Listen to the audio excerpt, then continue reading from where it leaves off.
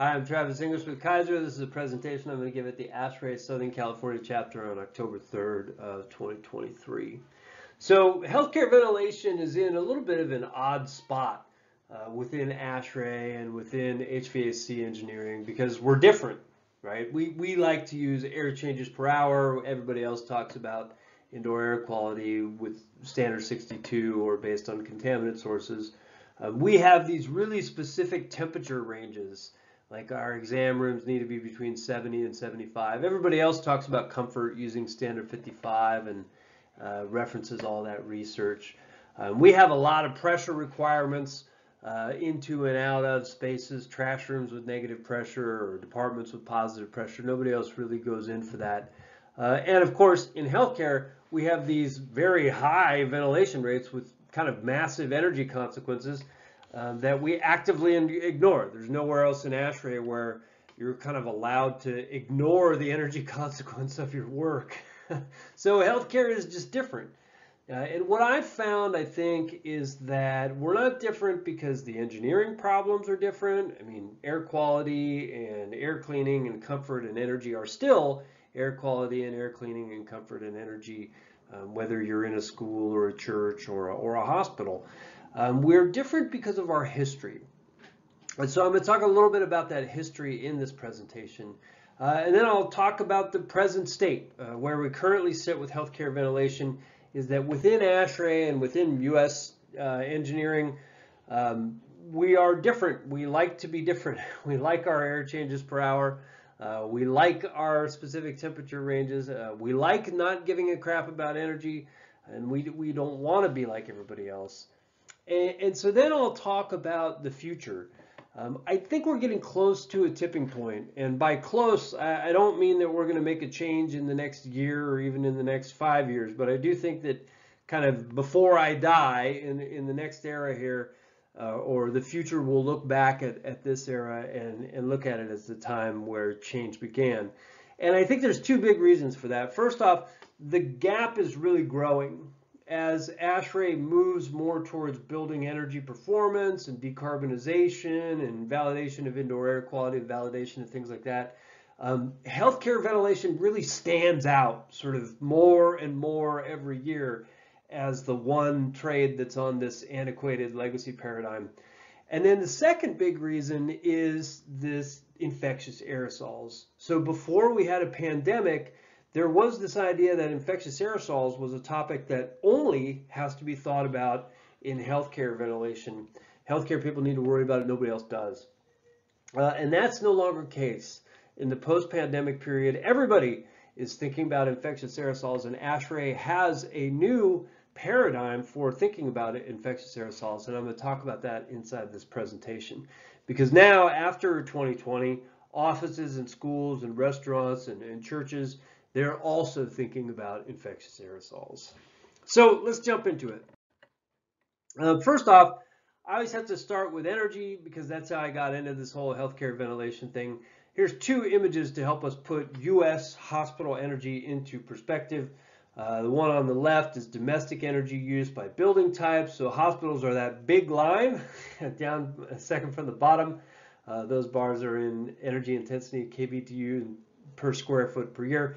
And then the other image, the image on the right, uh, is international hospital energy use, and that's by country. So the US and Canada are those top two bars, the really big bars. So essentially, US hospitals use more energy per square foot. We use more energy than most commercial buildings by a factor of two or three. Uh, and uh, US hospitals use more energy uh, than our European counterparts by a factor of two or three or sometimes even four. So our U.S. hospital energy signatures are quite high. Uh, the second thing to understand is how we use energy in um, hospitals. I wish I could say that hospitals use a lot of energy for medical equipment or clinical activities, but that's just not true. In fact, nothing could be further from the truth two thirds to three quarters of a hospital's energy signature is, is ventilation and heating and cooling. That's really where our energy goes. Uh, and then finally, the other thing to understand about how hospitals, about hospitals' energy signature is that it's largely independent of weather. Um, so what we can actually do is we can separate out the what we call the base energy use from the weather dependent component of the energy use for both natural gas and for electricity. And, and that's so the base energy use is that blue square that you see there, and then the the weather dependent energy use is sort of the orange um, chatter that's up at the top. And and most of the energy use uh, in this case, 83% of the natural gas, 95% uh, of the electrical, and overall 90% of the energy use is non-weather related. Uh, and we see that in the national numbers. Um, hospital energy use is kind of very similar, whether it's in Seattle or San Diego or New York or Miami. We have that heavy uh, base uh, energy use that goes on. There's no mystery as to why this happens. We know exactly why this happens, and that is uh, because we ventilate our hospitals uh, because with this legacy methodology called air changes per hour, so we have these very high um, ventilation rates. Um, if you're in California, you know this table as Table 4A of the Mechanical Code, published by HCI, or the agency formerly known as OSHPD. Um, but it, it, nationally, this is a national standard, and it's published by ASHRAE, and it's called ASHRAE Standard 170.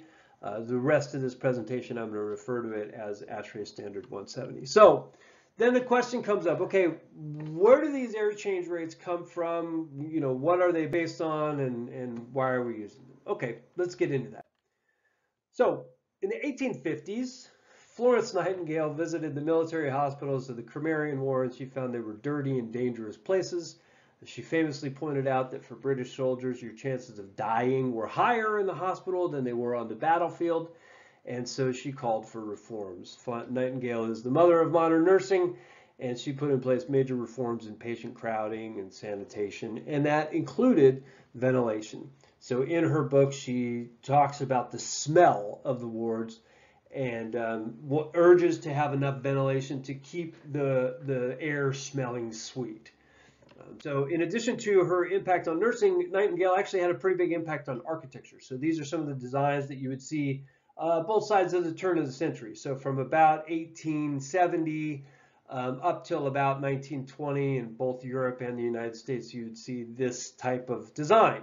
Uh, the, the patient wards were laid out in these sort of spines, and each one of them had access to natural ventilation um, on both sides.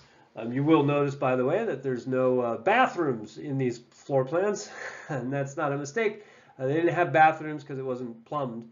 And so um, if you want to empathize with Nightingale about the smell of the wards, you can kind of imagine these wards where there's patients in there with all sorts of different types of symptoms, no walls in between any of them, and they're using bedpans twice a day eh, that get emptied twice a day, right?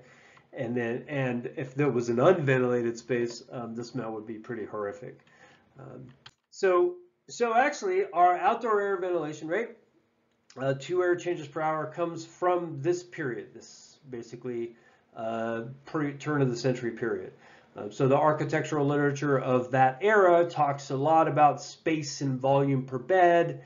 Uh, it was common to have 100 square foot per bed and then 1,000 to 1,500 cubic foot per bed, 2,000 to 3,000 cubic foot per hour per bed. Of course, if you do the simple math on that, you come down to two air changes per hour. Um, and uh, you'll see that in the writing of the 1880s, and then that is the number that we still use for outside air ventilation in healthcare um, today. Um, I have never hidden my opinion about this. I think it's terrible uh, that as an engineering community, we're repeating a 130 year old number uh, that comes from this era of, of hospitals. Um, that is not what a hospital looks like today. Uh, the ward thing went out of fashion after World War II. And, uh, and certainly uh, there is a more modern approach to outside air ventilation. Um, so I think it's really just terrible uh, that we just continue to repeat this two air change per hour, you know, for 130 years without ever questioning or, or redoing it. Um, so from 1920 to 1945 in the U.S., we didn't actually build a lot of hospitals. We had World War One, and we had the Great Depression, and we had World War II. So by the end of World War II, um, we actually had a shortage in hospitals. Uh, to add to that, it actually became popular to go to the hospital to have your babies. Uh, from 1945 to 1960, we had a lot of babies. so we really did have a shortage in hospitals. Congress took this on. Uh, Senator Hill and Burton put together the, the Hill-Burton Act of 1946. And um, that was a federal grant program for hospital construction. And of course, if you're going to use federal government money, then you have to follow government standards. So the, the first general standards um, for hospital design and construction came out uh, in 1947. And we've really had a federal standard kind of ever since um, of sorts. So in the 1960s, the Hill-Burton monies came to an end, but our architects and our engineers really liked having a federal standard. So the Public Health Service, the PHS, who had published the standard for the first um, 10 years or so, um, turned the text of that over to the American Institute of Architects. The American Institute of Architects uh, published that for, for a stretch. And then they turned the text over to uh, a new organization, actually spun up a new organization that's called the Facilities Guidelines Institute or FGI. And so they published the text from the end of the 90s um, up until today. FGI subsequently in 2008 uh, outsourced the ventilation portion of this standard to ASHRAE. And so starting in 2008, um, we get ASHRAE publishing the ventilation tables instead of them being sort of directly published um, within the FGI guidelines. So in the very early versions of that government standard, the, the ventilation requirements were in text form. Uh, and this is a really interesting period. So this is a document written by the PHS in 1966 uh, that includes narration of all of those requirements. And the text was actually nice. Uh, I'm going to expand upon this later uh, because in the text form you could see the intent. Now most of this had to do with the idea of moving air from clean spaces to dirty spaces, right? Um, so they would tell you that this space is considered to be clean and this space is considered to be dirty or contaminated. Uh, the title of the document here is asepsis, you know, uh, and it's which means to keep uh, areas clean or keeping contaminants out of those clean areas. Uh, now the relationship to ventilation could go either way. We had some spaces that had high ventilation rates because they were considered clean and we want to keep them clean. And then we had some ventilation rates because the space was considered dirty and we wanted to treat it because it's dirty. Um, and I'm, I'm consistently using these air quotes when I say clean and dirty because clean and dirty were not defined you know, today you can just put a sensor in there and, and measure, is this clean or dirty? Is it, is it five micrograms a cubic meter particulate count, or is it 10 micrograms a cubic meter particulate count? That's not what this was. Clean and dirty were more like, hey, we think of this space as clean, or we think of this space as dirty, right? There wasn't really any measurement involved, and there wasn't any discussion of infectious aerosols uh, back in this era. Um, unfortunately, and I say unfortunately, unfortunately by 1968 we moved all these requirements into a table and they've been entries in tables ever since. Um, and so the next slide here shows some of the changes um, in over the years in the air change rates within those tables. Um, so why do I say that it's unfortunate that we moved it into a table? Well, obviously the table has some benefits. On the plus side, the table is easier to use. It takes up less space, less pages to print the table, obviously. Uh, but on the downside, when all those numbers sit in a table, we lose the intent piece. So we see these numbers, but we very much lose connection to why. Um, we, we don't really say in the table whether the space is considered clean or whether it's considered dirty. Um, we can look at the pressure relationships and try to rationalize it from there. That gives us a hint. Uh, but oftentimes that can lead us in, in confusing directions. The classic debate is the one about the patient room and the hallway. Is the patient room considered clean and the hallway is considered dirty, or is it vice versa, where the patient room is considered dirty and the and the, the hallway is considered clean? Um, I've heard people argue both, by the way, and the text doesn't say. Um, and then also in table form, we, we really lose touch with the changes that happen. So to look at this slide here, um, why did recovery spaces change from 15 air changes to six air changes in 1978? Um, and the answer is we don't know, and we're never going to know why that happened. That happened in a committee room someplace. Somebody might have taken minutes at the time, uh, but nobody kept them. And there's nothing in the text that would give us any indication of why that happened. Uh, some of these uh, numbers in the table are amazingly resilient to the passage of time. Uh, so this is a slide that I've shown here that, that shows the air change rate in the X-ray space plotted against the actor who played James Bond. We've been through five James Bonds, uh, and the technology in our imaging suites has changed uh, much more than James Bond, but we use the same ventilation rate.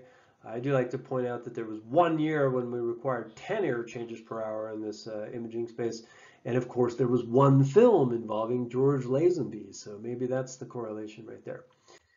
Um, since a lot of our ventilation rates uh, and, and, air change ideas come from the 1960s, I always like to show a couple pictures of hospital rooms in 1960s. Um, first off, check out those TV sets, man. Those things are cool. uh, secondly, on the table, you'll see potted plants.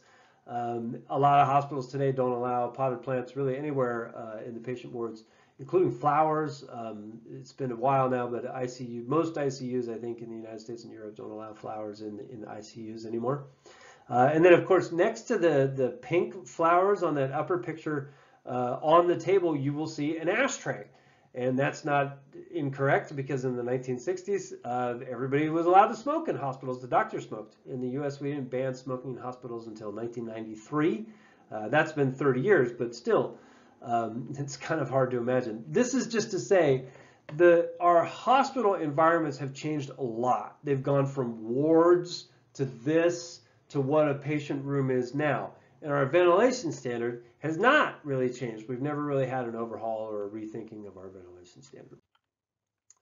Uh, so moving away from hospitals, there's been some other technological developments, what I'll call technological developments uh, in the field of ventilation.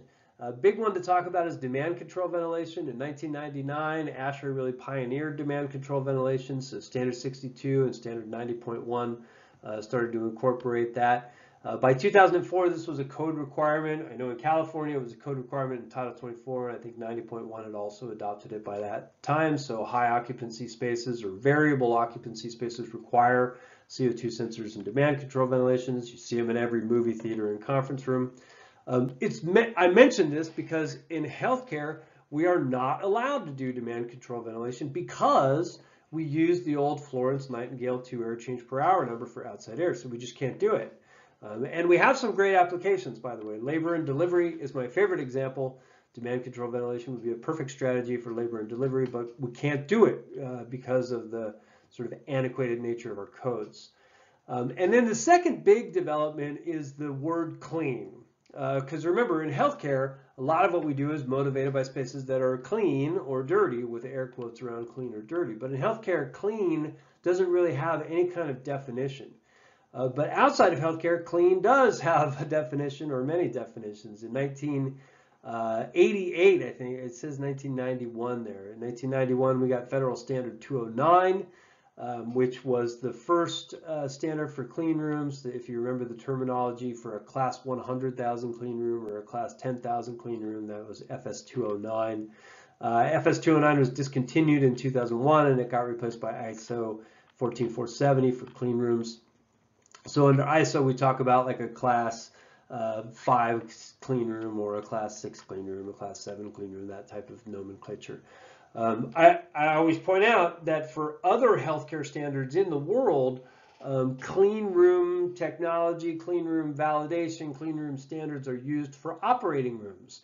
Uh, so since the 90s, now that we know how to do clean rooms, um, you would think that the rooms where we perform surgery on human beings um, should be clean rooms. uh, and that's true. If you're in an operating room in France or Germany or England or Sweden or Russia, uh, then they are. They use clean room validation uh, for operating rooms, but the operating rooms in the United States, we do not do that. Operating rooms in the United States have 20 air changes. Um, I think that the lack of clean room standards in our operating rooms is, is, is wrong. I think it's just it's sort of ethically incorrect. We should be applying the best available control technology um, to the places where we perform surgery on human beings. To me, that's a no-brainer. Um, and just to violate the um, the non-endorsement policy of an ASHRAE presentation, if you get surgery in a Kaiser operating room uh, built since 2017, it is a clean room. Uh, we validate our operating rooms as class six clean rooms, uh, but we're the only hospital system in the United States that does that. So let's also be aware of the development of air quality conversation um, in non-residential buildings over the last generation, right? In the 1980s and 1990s, uh, actually even before that, the 60s and 70s, ASHRAE 62 went through some significant iterations and revisions. Uh, the science behind the ventilation rates and CFM per person got a lot of attention. Um, if you've never read that story, I really highly recommend the, uh, that article, the Klauss article from 1970 ASHRAE Journal, and then the Janssen article from the 1999 ASHRAE Journal. Uh, they, they really tell the story of what went into those numbers and how that number sort of developed over time. Then ASHRAE 62 also went through a major overhaul from about 2002 to 2005, right around the time the USGBC started using it as a reference. Um, and that's when we moved to the two variable model, CFM per person plus CFM per square foot. Um, and so there's a great article about that from Stanke in 2006 that also came out in the ASHRAE Journal. Um, the important thing about this whole progression of ventilation standards in non-residential is that we have these journal articles every 10 years or so. And so they tell us what the science was behind the numbers, or at least what the thinking was behind the numbers, which is to say that in non-residential ventilation, uh, the ventilation rates and the prescriptions are, are, fairly transparent. And that's a really stark contrast um, to our situation over in healthcare where our numbers are pretty completely opaque, right? We have a lot of old numbers that we've been using since Sean Connery played James Bond or, or even longer, uh, but we don't have a lot of really good documentation as to what they mean and what the progression of those has been over time. Now, ASHRAE actually recognized this, and in 2017, I think they started the research project. It got published in 2019, uh, but this is ASHRAE research in conjunction with ASHE and with FGI. It's a major research project to determine the scientific evidence behind the healthcare ventilation standard. They hired a research team and to pull every article we could find as far back as we could find it. And the results were, were very bad.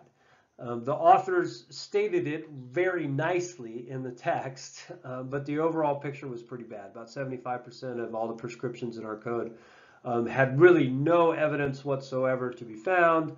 Uh, the air change rates in particular were, were worse than that. 95% of them had no rational basis, no clinical basis, no available evidence whatsoever. Um, and what's more concerning to me, uh, more concerning than the lack of like hard evidence uh, for our ventilation numbers, is that they're also not rational right? Why would we need four air changes per hour in a patient room and then we need six air changes per hour in an exam room or an imaging room? Or why would we need six air changes per hour in an, in an imaging room if it's in a hospital, but three air changes per hour in an imaging room if it's in an outpatient facility? Um, the numbers are highly irrational. You can't sit there and sort of crank through the logic and come up with the numbers in your head. Um, they do not make sense and they don't make sense relative to each other, so they don't really add up. So that brings us to this project, which um, the reason I'm doing this presentation was ostensibly to talk about this project.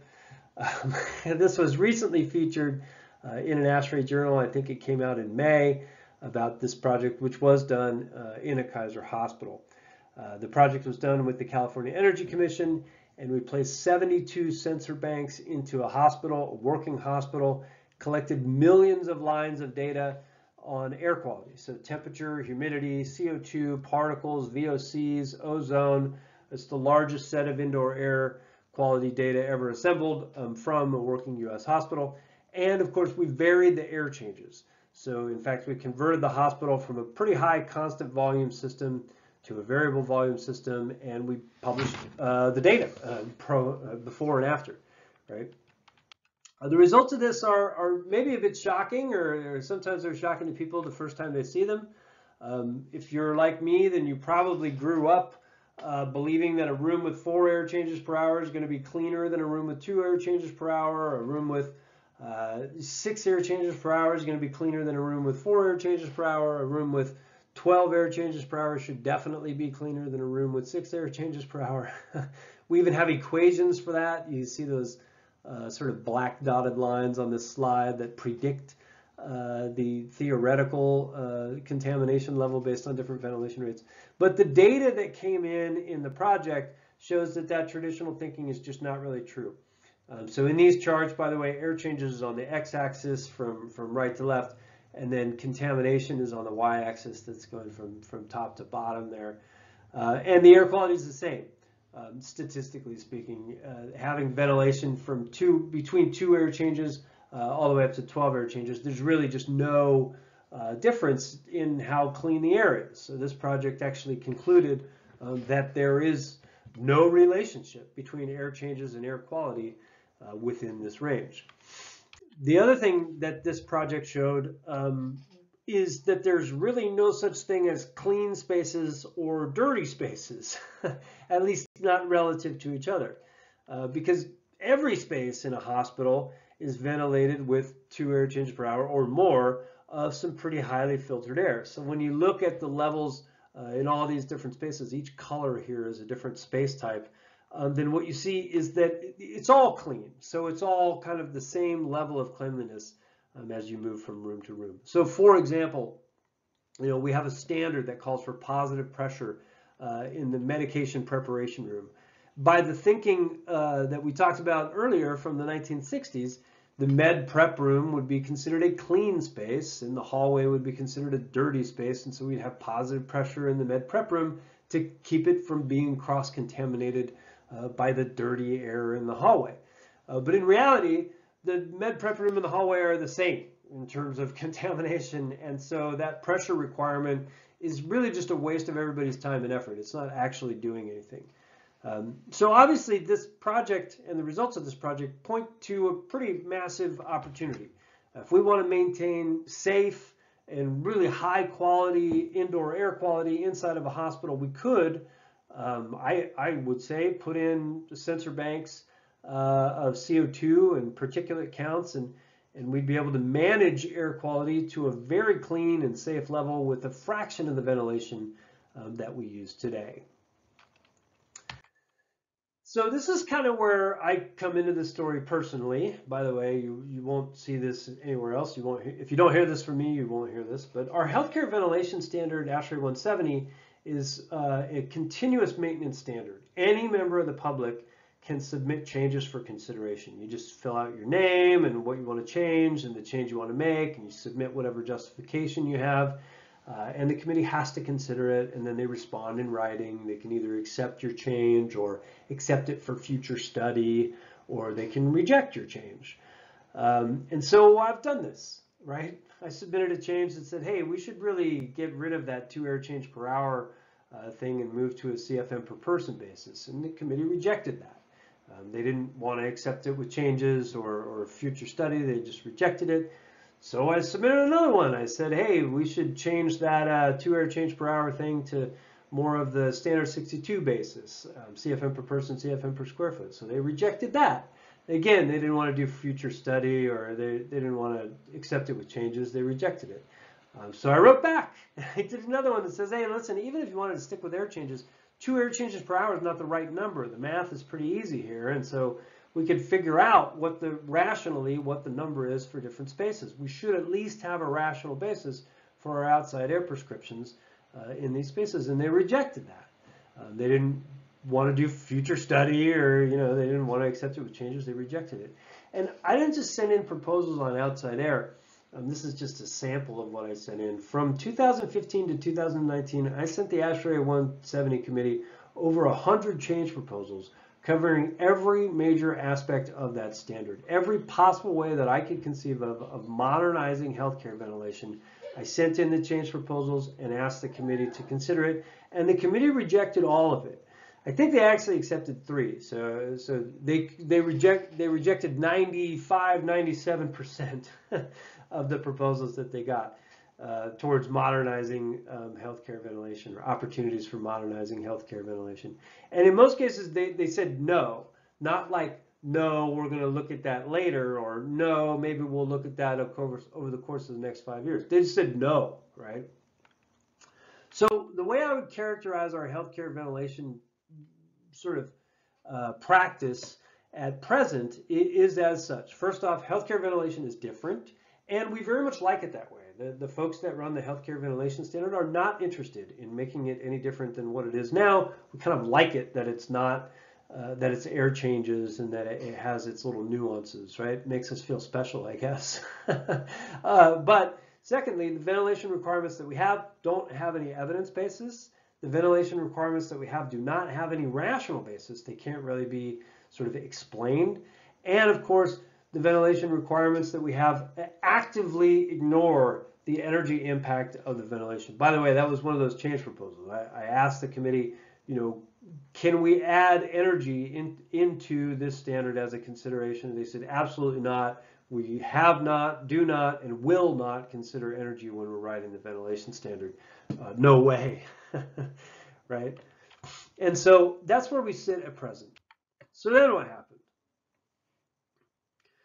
Well, then we had a pandemic, right? It turned out to be an infectious aerosol, at least in part, transmitted by infectious aerosol. So what do we do, right? Is a is four air changes in an exam room or six air changes in an exam room enough, or do we need to add more? Well, we don't know because we don't actually know what that number means. Is six air changes okay in a patient room? I don't know. Nobody knows what six air changes actually means. Um, is two air changes enough outside air? Or do we need more or less or what what is it? And nobody knows because nobody that number comes from 130 years ago. Nobody actually knows what that number means in a modern context with an infectious aerosol. So what happened during the pandemic?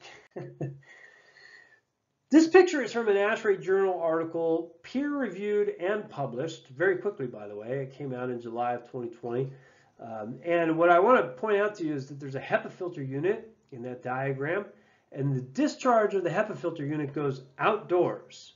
So you have a patient in the room, you have a provider in the room, you have a HEPA filter that is cleaning the air, and then it discharges it to the outside. I just want to make sure that we're clear about this. Fun fact, HEPA filters were invented during the Manhattan Project. They were originally uh, created to filter out beta radiation particles, which are subatomic radiation particles in out of the air, right? So HEPA filters can remove freaking subatomic particles, right? HEPA filtered air is the cleanest air in the world. You can hike to the top of a mountain, your favorite mountain in Switzerland, and breathe in the air. This air is so wonderful. That air is crap compared to the air that comes off the HEPA filter. So to take a HEPA filter, put it in this room, and then dump it out of a window towards the outside is just categorically dumb.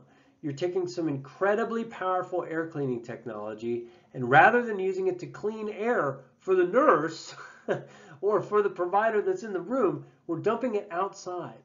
This is a colossal engineering mistake that we made during the pandemic, right? And there's a good reason why we made it. Well, that the guy who wrote the article, I know why he made it, and that is um, right when the pandemic hit, ASHRAE and ASHE put out some emergency guidelines, and what they said was the old advice. We need to move air from from clean spaces to dirty. They said, okay, well, then the hallway is clean, and in this space, the, the room that contains this patient is going to be dirty, right? So move air from clean to dirty, get negative pressure. And so that became the cry. Get yourself some negative pressure, get yourself some negative pressure, no matter what, get negative pressure. Even if you're going to take 500 CFM of HEPA filter air and dump it out the window, get yourself some negative pressure. Uh, now, in hindsight, we could tell that that's pretty stupid, right? All it took was a risk model. I shouldn't even say hindsight because we were doing risk models during the pandemic. Um, these are some of the risk models that we were doing in the middle of 2020. And the risk models will show you that negative pressure is not a major intervention. Negative pressure uh, is a minor intervention. It creates a small, and I mean a pretty small, risk improvement in the hallway. It doesn't provide any risk improvement uh, inside the room. By contrast, if you want to reduce risk in the room and you have a 300 or 500 CFM HEPA filter unit, then run that filter in the room, discharge the air in the room, clean the air in the room. And that actually has a very good effect for the provider, has a very good effect in the hallway. The net effect of the clean air in the room just sort of blows away any improvement that you could get from negative pressure. Um, and so, but of course, at the time of the pandemic, we didn't really have a, a, we had an opaque healthcare ventilation standard. Nobody knew how to do these risk models. Nobody knew how to deal with infectious aerosols directly, and ASHRAE really didn't have any tools. Now ASHRAE does have some tools. So this is where I start my sales pitch for the new standard, which is ASHRAE 241, the control of infectious aerosols. So this got published in 2023 in kind of record time. It took us 116 days from the time the committee was formed to the publication date. If you are in healthcare and you haven't read this standard, then I urge you to do so. Not because everybody is adopting it, I'll talk about that in a second, but because this is a smarter and more understandable approach to infectious aerosols than anything that you've ever seen in your life. Um, so the way that ASHRAE 241 works is that you have infection risk management mode, so I'll call it IRMM. So it's not supposed to be all the time, it's a feature. When you need it, you click over into infection risk management mode. And when you design for infection risk management mode, then each room has an equivalent clean air requirement. So we have those in a table, and there's table 5.1, right?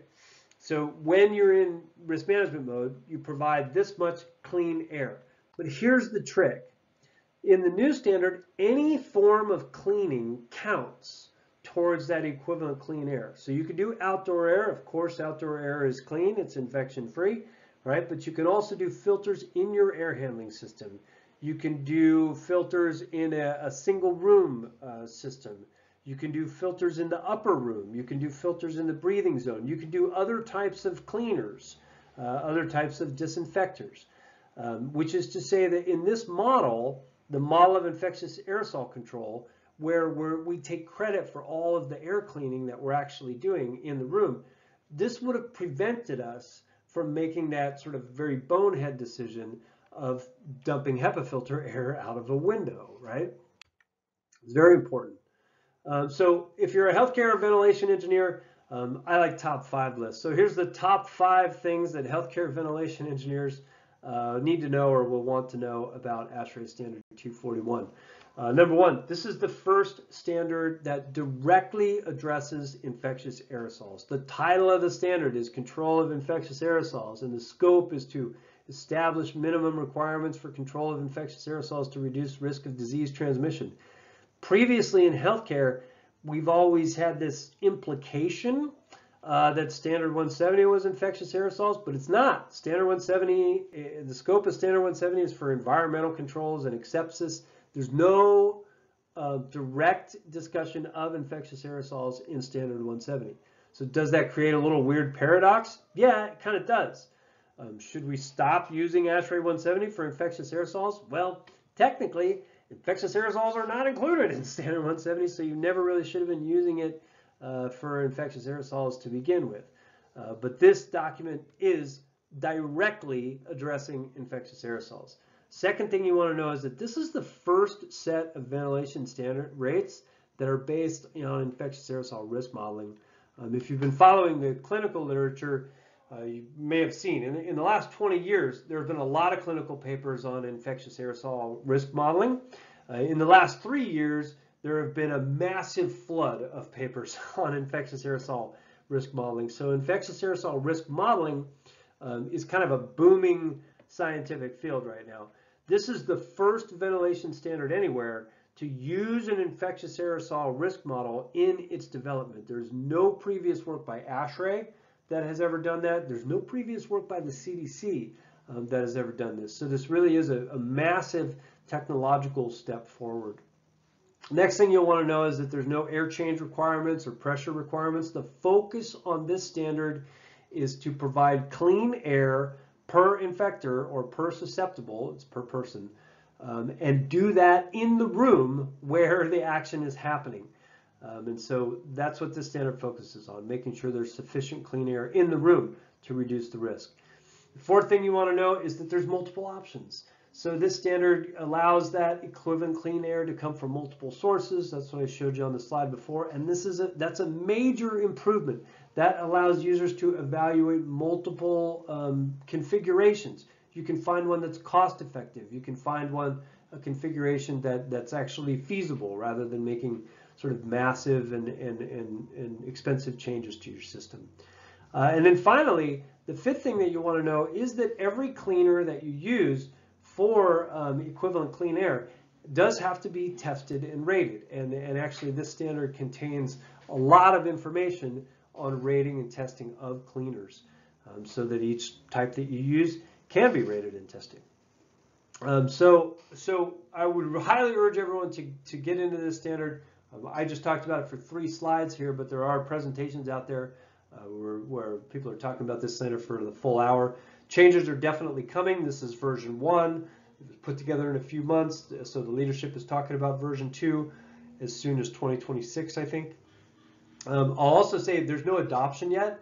We, Joint Commission has not looked at this. I don't know that CMS has looked at this or that or that in California that HCI or OSHPD um, has looked at this or read this, so um, it's not adopted yet. But this is a piece of technology that I think everyone um, who's interested in the field is going to want to read. So just to kind of summarize, where, where did we go? This was a long presentation. Um, so to, to, recap, healthcare ventilation is a little odd, right? Within ASHRAE and within HVAC engineering, we're very different right? We like to use air changes. We have our little specific temperature requirements. We have these pressure requirements. And, and of course, we have these very high ventilation rates where we don't care about energy. Um, so we're just very different. And um, what I found is that we're not different because the engineering problems are different. We're different because of our history. And so this presentation, we talked about some of that history. Um, and uh, my opinion is that in the present state, um, the the healthcare ventilation group within ASHRAE sort of likes being different than everybody else, and they're not really uh, inclined to be making any changes. they like using air changes. They like not giving a crap about energy. Uh, but I do think that that something is coming in the future. I think 50 years from now, folks will look back at this era and sort of see that, that, that, that, that this is where the rocks came together for some of the changes uh, for two big reasons that I can think of. First off, if you're around ASHRAE at all, then you hear about decarbonization and, and building performance, uh, energy performance, and, and even um, indoor air quality monitoring and the rise of sensors in the indoor environment. And, and, as those things grow, as those technologies develop, then the healthcare ventilation standard just looks more and more and more antiquated or, or becomes more and more revealed as antiquated. Uh, and then that second big topic is this topic of infectious aerosols. Kind of up until 2020, um, healthcare had a seeming monopoly on the idea of infectious aerosols and what ventilation might be doing around infectious aerosols. That's no longer the case. Um, and so now we actually have a standard um, that deals with infectious aerosols.